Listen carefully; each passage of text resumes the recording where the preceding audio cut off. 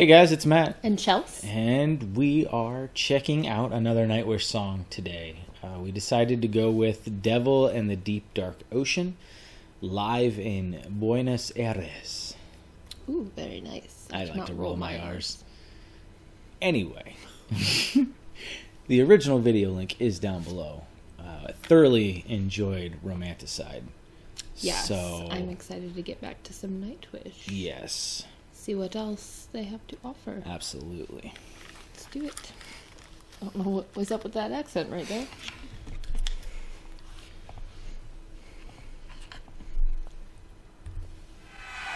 Okay, so we'll give you this nice little piece. It's called Devil and the Deep Dark Ocean.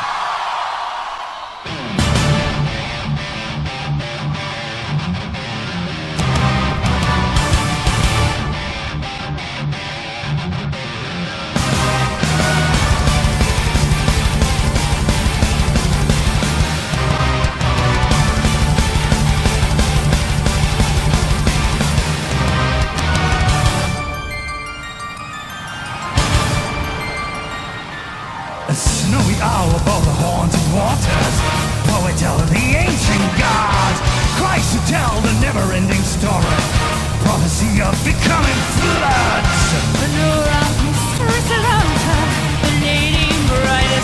Okay,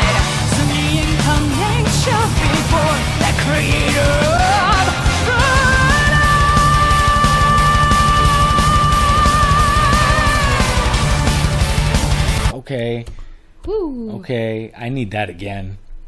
Yeah, Yeah. so since we're stopped, that intro, his, what would you even call that? Like, rock rapping? Like, it wasn't sing singing. Yeah, it was like a grittiness to his Yeah. singing. Yeah. Yeah, or it was just like really fast singing. Anyway, I wasn't expecting that kind of beginning. It was Yeah, and then right into this powerhouse Yeah. right here. powerhouse. And we're going to listen to this again. Yes, we are.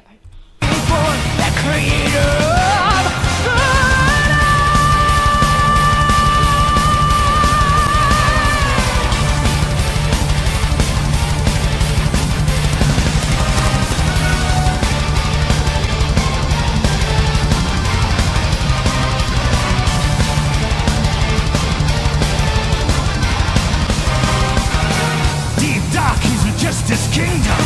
Pulling on the morrow's world. Of the liquid giving power. The red iron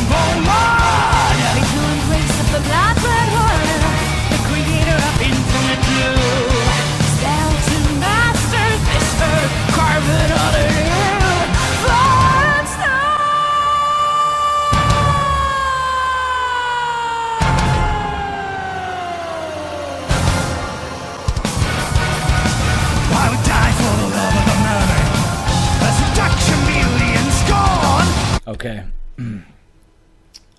I feel the way he sings in this song, it reminds me of Dave Mustaine from Megadeth, and the way he does some of his songs. Like it kind of reminds me of his vocals mm. in that sense, and the way he sings it. You get what I'm saying?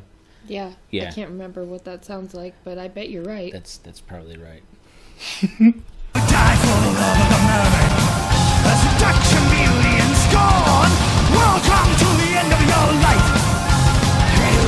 ocean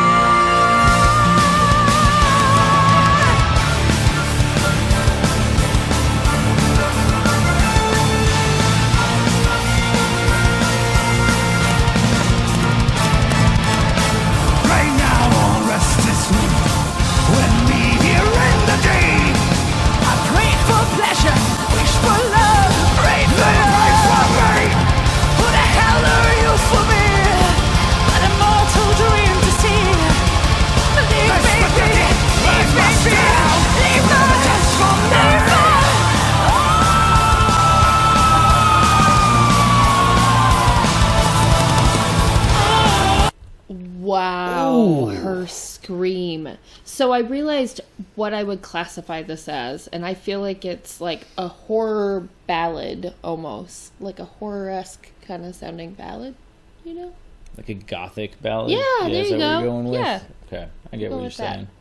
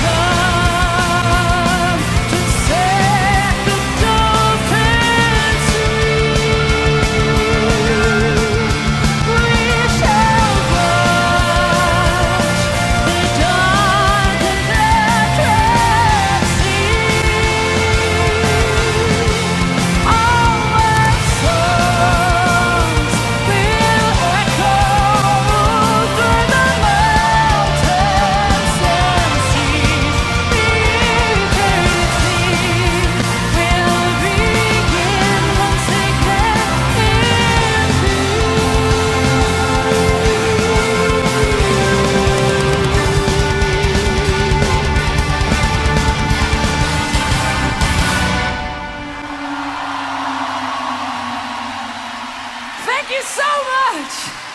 Wow! Wow is right. wow. That is right. Some good stuff. You want to go first? Ah, That's a 10. I think that's my favorite song that I've heard by them so far, even though this is technically only the second with Floor's vocals. Um, man, I just really loved that. And I don't know if you noticed this in the performance, but when he was singing, the spotlight would be on him, and when he wasn't, it would be off. And I really liked the way they did that. That was that was really neat to the performance. Yeah. it's probably cooler to see in person, but uh, I can tell they Man. really put on a performance.